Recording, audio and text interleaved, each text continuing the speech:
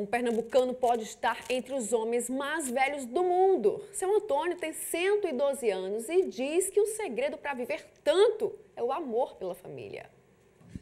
Ele é pura disposição, abaixa, levanta, pula, dança. Esse é seu Antônio Manuel da Silva, 112 anos de histórias para contar.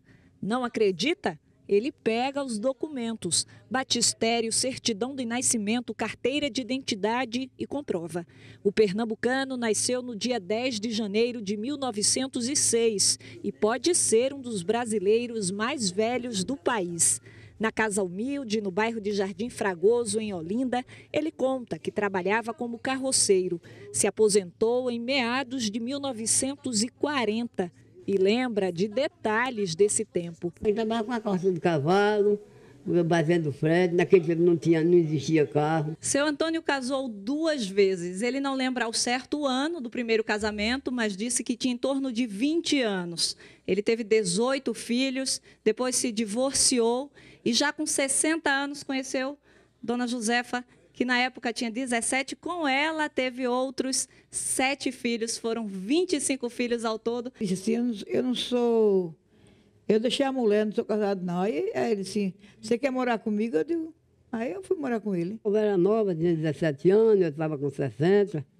Aí a gente com ela, a mãe dela combinou, que a mãe dela era viúva, não tinha condição de tomar conta dela. A saúde e disposição do idoso impressionam novamente. Ele caminha sem dificuldades pela rua que não tem asfalto. Fala do que viu da vida e lembra da época de Lampião, Maria Bonita e das guerras mundiais. Na Guerra do Paraguai, ele, meu pai corria, se escondia dentro do rio, a gente andava tudo com medo. Quando o senhor pensa que é um dos homens mais velhos do Brasil, o que, é que o senhor pensa em relação a isso? Prazer que eu tenho na minha vida.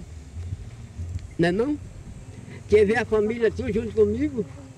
Parte da família de seu Antônio veio comemorar os 112 anos dele completados na última quarta-feira.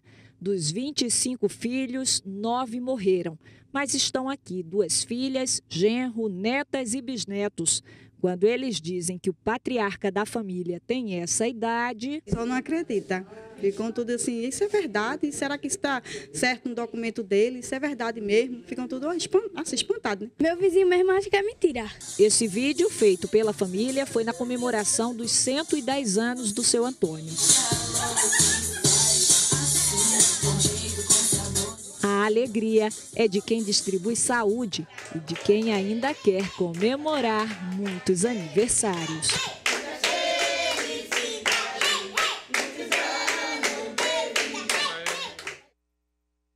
Parabéns então para o seu Antônio, saudável, lúcido e que viva ainda por muito mais tempo.